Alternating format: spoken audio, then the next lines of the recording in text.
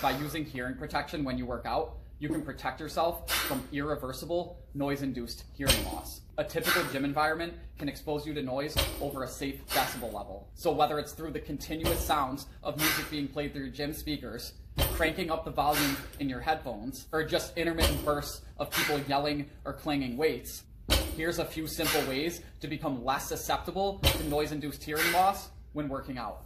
Option one is foam earplugs. Option two is earmuffs. Option three is to combine both. And option four is to wear your headphones underneath your earmuffs so you don't need to play your music as loud since the surrounding noise will be lower.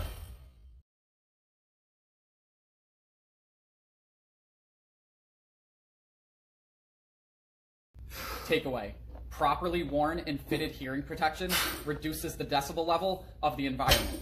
You can protect yourself from irreversible noise-induced hearing loss